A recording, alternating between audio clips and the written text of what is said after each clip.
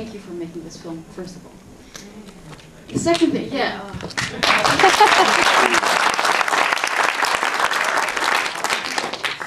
I want to start off by asking you this question. Um, in the film, we see sort of a, a combination of footage that was sort of in the in the non-violent battlefield. On the one hand, on, on the other hand, there was footage shot um, in very private surroundings in the homes of the main characters, and I was wondering if you could tell us a little bit more about that, and also if you shot all the images on the battlefield. Or Absolutely. Thank you so much. This is actually a great question uh, because I can uh, bring up here one of the cinematographers and a long-time Israeli activist who is currently in Amsterdam, Jonathan Massey.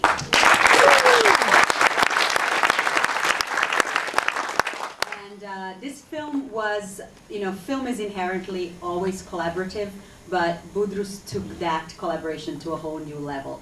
And uh, I tend to be like a spokesperson that goes around and get a lot of credit and attention.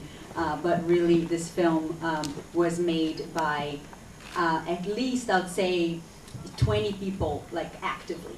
You know, that without those 20 people, there's no way this film would have been possible. And of course, then there's all of the thank yous. And thank you for staying during all the thank yous. Because um, there's a, there's a lot of people that, that we really wanted to acknowledge and helping make the film. And so the way so I'll, I'll give you a little bit of background. Um, I'm, I'm part of an organization called Just Vision. And uh, Just Vision was created about seven years ago in order to uh, document uh, what was what you did not see on the mainstream media, which were civilians who are courageously and actively for you know years now trying to end the conflict using nonviolent means. And um, whatever bias you think the media has, I think that an over overarching bias in the Western and in the Arab world is a bias towards violence. And what you always see is either militarism uh, from Israeli side or you see militants in the Palestinian side. And that's all that the world sees. In the meantime, there are all these thousands of Palestinians and Israelis on the ground who are struggling and, and getting more strategic over time, uh, trying to, to think of creative ways that where the process of, of bringing an end to the conflict um, is also uh, creates the relationships between Palestinians and Israelis that will make it possible for any agreement that is signed in the future to be long lasting and not just a ceasefire. Because leaders sign agreements, but people are actually the ones who live it on the ground. So all of this work is, is really like you know putting down the roots for, for a long time um, peace in the region. And um, Just Vision is basically dedicated to finding those stories and bringing it to the world. Uh, our last film Encounter Point uh, was focused on more human stories of people who had lost loved ones and started working together. And one of the questions that we often got in Q&As in Israel and in the United States was uh, where's the Palestinian nonviolence movement? Where's the Palestinian Gandhi? If only Palestinians use nonviolence, there would be peace. And there was a very simple equation made that we knew on the ground was much more complicated. So we started thinking about doing a sort of overview of all of the different villages that are currently every week struggling underground, doing similar things that Budrus is doing. And, and I realized that all of the, the, a lot of the inspiration for these people came from this village. And this village was invisible. Nobody knew what had happened there. And so I started a process of investigating to find out if it was possible to retell this entire story and um, in, in a way that really grabbed people, where you felt like you were going through it. And that's where the amazing, uh, courageous, and incredible activists like Jonathan Massey and Shai Pollak um, came in incredibly generously. They had moved on to other struggles because they kept going. Um, and so they hadn't done uh, things with footage. Shai actually did an, an, amazing film called Bil'in Habibti. And, um, and like them, there were um, um, uh, several French people, Americans, uh, Danes, like people who were there and had like some of them, you know, just like 10 minutes of footage or something. And we ended up collecting about 200 hours of footage, um, including all of the interviews that we did. So then what we went back is we, we you know, got the, uh, the people to really speak to us because a lot of this footage for many of these demonstrations is available on YouTube. And what's missing is kind of the context of the humanity of who were the people who participated on that. And we wanted to really get you to identify with every individual, including the Israeli army, which was facing, um, you know, a nonviolent movement. They were told that they were getting in there uh, to uh, combat terrorism, uh, and instead they found women, children, uh, and men waving flags and chanting. And we really wanted to talk, talk to them about how, how was that. So really give a, um, you know, a, a full perspective. And, uh, and, and we've been now touring for, for 10 months with this film. Wow, thank you. I want to ask you one more question before we open up to questions from the audience. One thing that sort of stood out for me in the film, throughout the whole film, is that you sort of chose a few women to talk about their experiences. So first of all, we have Ayed's daughter, who so courageously stands before the bulldozers and jumps into the hole. And then we have Yasmin Levy, the female soldier, which you give quite some time to, to sort of recount the, the, the struggle from her perspective. And then there's you, the filmmaker, also. So I wondered if you could sort of um, tell us a little bit more about what you think that the role of these women could be, and if it's any different to the men's in the struggle, and also your role as a filmmaker. Um, the, the, there's no question that without the women, this movement would never have been possible. And, uh, you know, we wanted to, to really give enough time for Iltezam Morrar, who was 15 at the time, to really talk about, like, quite what, what this extraordinary thing he was, where she you know, challenged her father, and her father gave her the opportunity. And and one of the things that happens often in screenings that we're doing in the West Bank, because now this film is being used by communities on the ground as a tool for uh, organizations, not, not, not formal organizations, but the popular committees in each of these villages that are uh, trying to do similar things in villages like Walaje, that, that is close to Jerusalem and is about to be encircled. Uh, they are bringing in the film, they're bringing in Ayed and Iltezam to talk about what they did.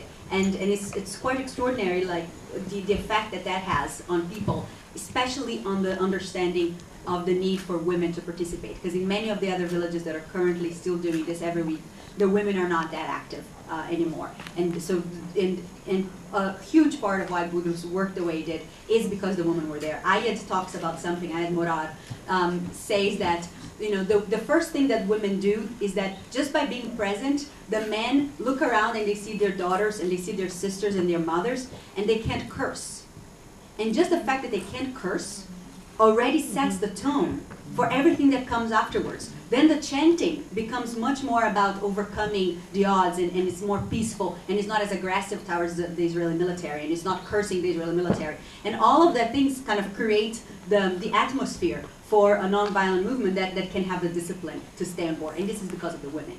And, and this is what women being there cause. Now, in terms of us, and, and Yasmin Levy was sent there because there were so many women. Because one of the challenges that, that the Israeli um, border police faced was that for the men, for the Israeli male, male border police officers to be touching and, and arresting and, and moving around the women, caught, steered the community it really made the men that go wild, right, to see the men touching their women. And so they send in women to deal with the women, and women beating women um, somehow became acceptable. And and so um, the the Yasmin Levy played this role, like that that was her thing. And you see some you know tough imagery, and, and obviously you know you saw how the Palestinian women were like they believed, they had this belief that, no, she's a woman. She can understand this. And they really hanged on to this, like trying to bring her. And of course, then it became a sarcastic thing and a playful thing that, that they did as well.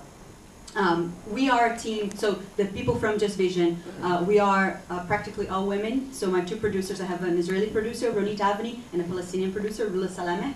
And uh, I think that um, being a woman has helped her, us a lot. And you know, a lot of the scenes inside people's homes where you're sitting there with the family, with the women. Um, I think for men, it can take a little bit longer for the women to feel comfortable being close to you by yourself. It's harder for you know an interview if you want to do just you and her. Um, being a woman is very easy. Being a man, I think you would need more time to, to be accepted.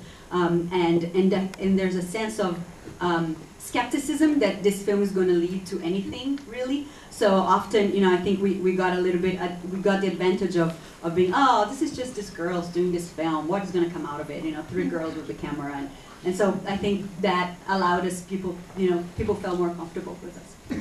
Thank you. So this was the result. Um, questions from the audience? Anybody? And you can ask anything. Yes, I have a question. Okay, please speak up. Um, I thought it was obligated in Israel to join the army at a certain age, but the Israeli activists were not in the army. I wondered why. Did everybody hear the question? I'll let, the, so the, the- uh, she's saying, I thought that uh, in Israel, uh, everybody was obligated to join the army, but the activists were not in the army, so how come is that? And I'll let uh, Jonathan respond. Well, um, you always have a choice. And some of the activists did do the army actually in their past, and actually because of their military service, they decided to become later on activists. Uh, like Shai also was filming a lot, the military and a lot of the activists. But it's, in the end, it's a choice. I mean, they can say that you have to do it, but there are always ways to get out of it. I mean, I didn't do my military service there. So it's, yeah, it's an option. I mean, it's I- I- difficult. I will say something. Okay, he's he's he's placing himself as an Israeli activist here who wants to encourage people to believe that it's easy and you don't need to serve. But I will say something. It's not not it's not easy not to serve. Like Israeli activists who take a stance and try to get away. It's possible to get it. Many most of it through medical. Um, like you you basically a lot of people are faking you know medical conditions that, that don't allow them to join the army all the time. And the army wants to allow those those conditions to, to excuse them because otherwise these people get counted as conscientious conscientious objectors. And that the government does not want. So actually it's incredibly hard for an israeli young person to to be to get the government to recognize that they're refusing the army from moral ethical reasons For women, for women, it's for, for women it's easier but still not i know that you know maya like told me her story like they're they're you know the, the what they do is they keep putting you in prison and then after one year they take like there's uh, maya wind who was one of the you know at 19 she she was one of the start started the demonstrations in Sheikh Jarrah in East Jerusalem, which are very active now, and I encourage all of you to, to look it up if you don't know what I'm talking about. It's amazing. Um, and she she tried, she wanted to refuse from ethic, from moral from, for more reasons. And the army kept putting her in prison, tried to get her out. They offered her, you know, why don't you sign this, which said that, you know, something about her medical condition or her mental condition. And she refused. And if you refuse to sign that, then you go to prison. And after one year in prison, then they take you out and they offer you the paper again. Now, do you want to sign it? And then you have to say no, and then you go to prison again. And some people actually go to prison for quite a few years. Most people just sign the paper and, and get away on medical conditions. Um, in the end, she ended up signing after I think two years that she did. Um, and so, so it's not. So yes, there are ways out, but the consequences in Yes, Israeli society, you are you are ostracized. Um, it's harder to, to get uh, jobs. You know, in in, a, in, a, in your CV, uh, like at Just Vision, we have an office in East Jerusalem, and we hire Israelis. And the first thing in the CV is your what what your service was in the military, and it's an essential part for getting jobs, for going to school, for getting to dorms. So it's it's a, it's a very integral part of of becoming an adult um, in Israeli society. Absolutely, many people are getting out, but they, they're very courageous for doing that. It's not easy. So another question, yes.